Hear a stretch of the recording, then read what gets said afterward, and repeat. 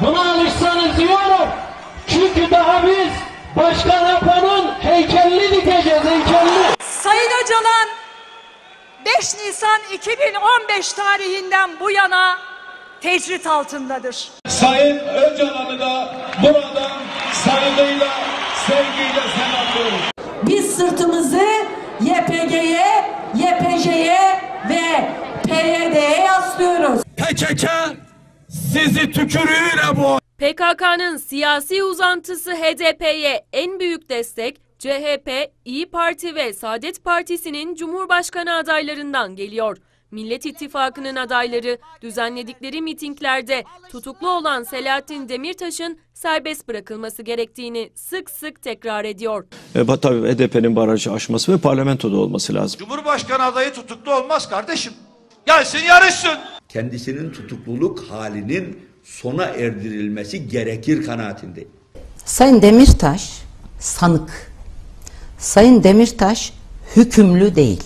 Demirtaş kampanyasında birleşen CHP, İyi Parti ve Saadet Partisi'ne Vatan Partisi lideri ve Cumhurbaşkanı adayı Doğu Perinçek'ten sert tepki geldi. HDP onların saklı müttefikidir. Perinçek yayınladığı yazılı açıklamada HDP PKK'yı meclise sokma planlarının AKP'ye hayat öpücü olacağını söyledi. CHP, İyi Parti ve Saadet Partisi, HDP PKK'yı meclise sokarak Türkiye'nin hangi sorununu çözecekler?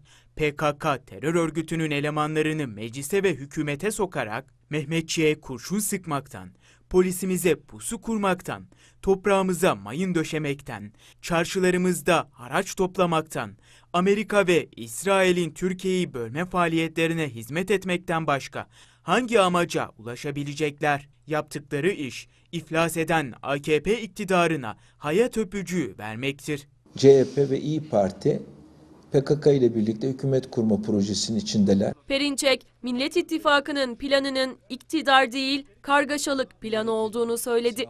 HDP PKK'yı meclise ve hükümete sokma planı Amerika ve İsrail'in planıdır. Daha doğrusu Türkiye'yi kargaşalıklara sürükleme planıdır.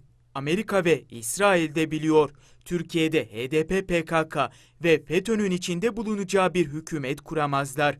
Ancak sarsılan ekonomik zeminden de yararlanarak Tayyip Erdoğan iktidarına karşı mücadele adına kargaşalıklar çıkarabilirler. O kargaşalık koşullarında Türkiye'nin iç cephesinde gedikler açmayı hedefledikleri ortadadır. Söylemlerinde bunun işaretini veriyorlar. Türkiye'de hiç kimse PKK hükümet yapamaz. Amerika'nın da buna gücü yetmez. Cumhurbaşkanı adayı Doğu Perinçek, çözümün Amerika ve İsrail'e karşı vatan cephesinde birleşmek olduğunu söyledi.